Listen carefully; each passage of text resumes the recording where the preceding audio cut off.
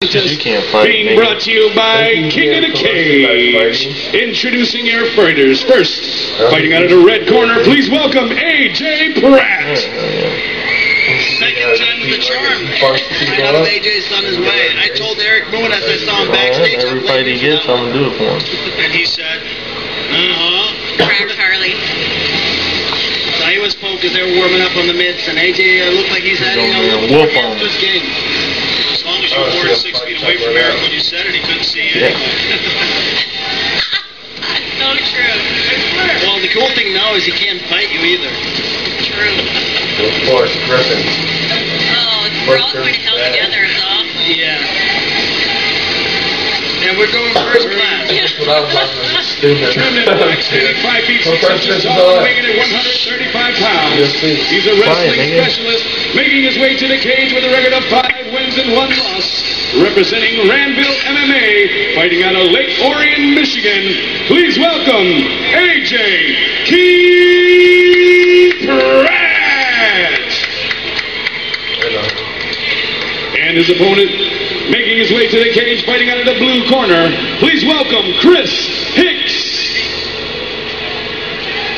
Again, like we were Wearing saying before. trimmed in black, standing 5 feet 4 inches tall and weighing in at 135 pounds. He's a freestyle mixed martial artist, making his way to the cage with a record of 0-1 Representing Pontiac, Michigan, ladies and gentlemen, here is Chris the Hurricane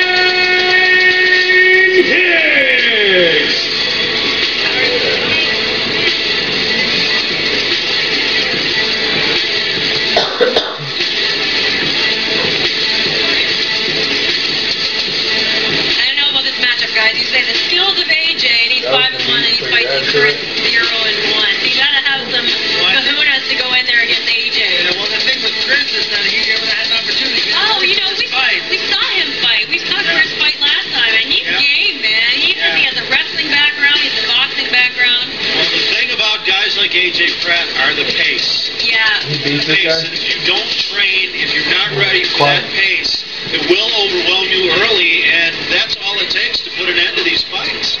Yeah. I remember seeing Chris fight at, uh, was it the Crow Splits? Yeah.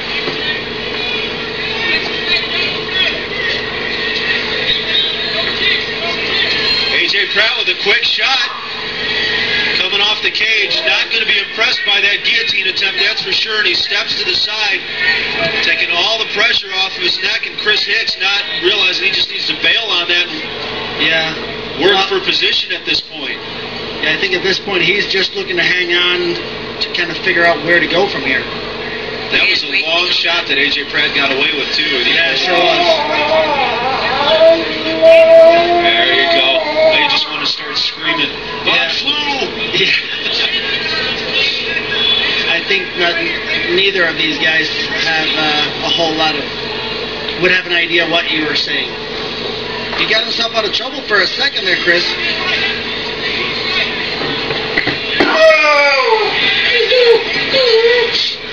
One thing with Chris Hicks is he's strong and he's doesn't like to give up. I'll say that much. Well, I am surprised too that uh, that AJ did not come out like he normally does.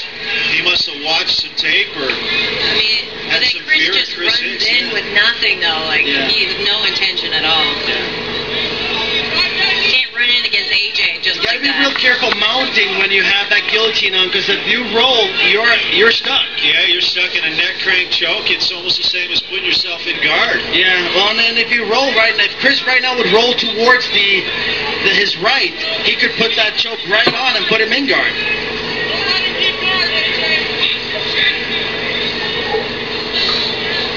Again, Chris get we saw him before have good enough conditioning to be able to uh, to be able to hang on to this and, and not exhaust his arms. Um, Yeah, he sort of locks it out. He's not squeezing. He's just locked it. yeah. I It's one-handed, just it's buying time, one-handed, yeah. figuring out what he's going to do. Yeah, and right now he's on the Now he's in receiving end. Yeah. Absolutely. And this is a bad spot to be against a wrestler. yeah, too good of a base. He's not going to be able to get out of this. I doubt it. He's not going to buck and roll him. All he's going to do is get the fight ended here from strikes. Yeah. question is how much time is left.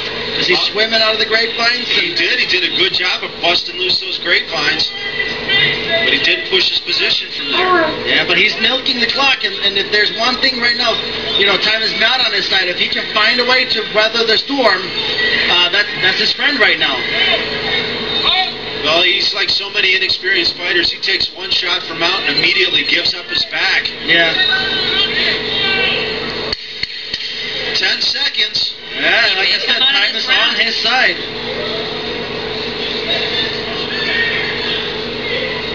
You know, both fights Chris has had has been tough, man. His Yeah. first fight that we saw, he was like had a tough, tough opponent.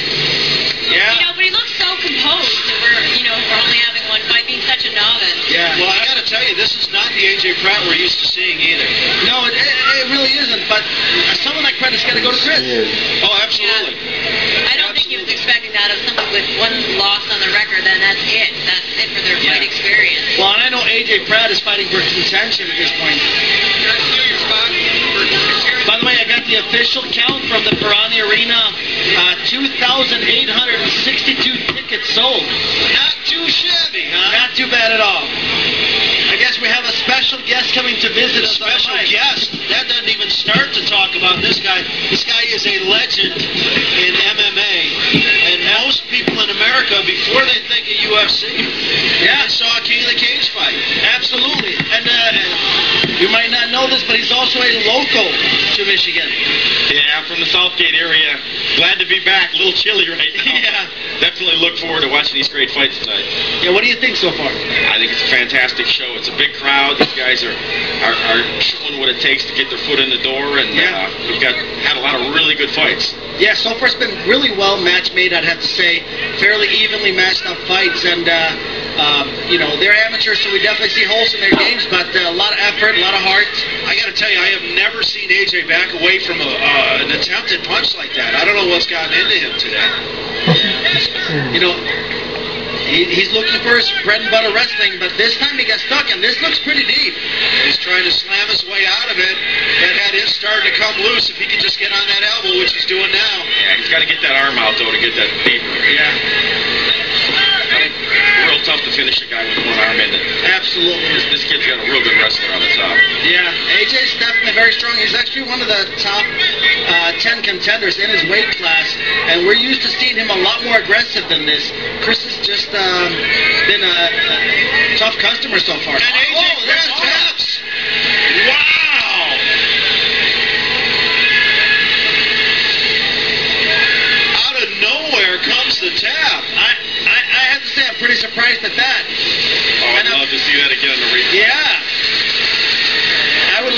would love to see the replay of that because that was uh, that was that was pretty exciting and, and out of half guard to finish it, and I didn't even see the hands connected on the bottom. I don't want to take anything away from Chris Hicks, but I am dying to talk to Eric Moon and find out what was going on Yeah, with AJ because this is not the same AJ Pratt we're used to seeing. absolutely. But hats off to Chris Hicks. We're going to go to Pete Trevino Jr. for the final announcement.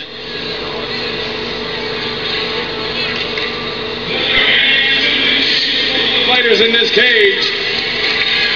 Your tap out comes at 53 seconds of the second round for your winner by guillotine submission, Chris the Hurricane.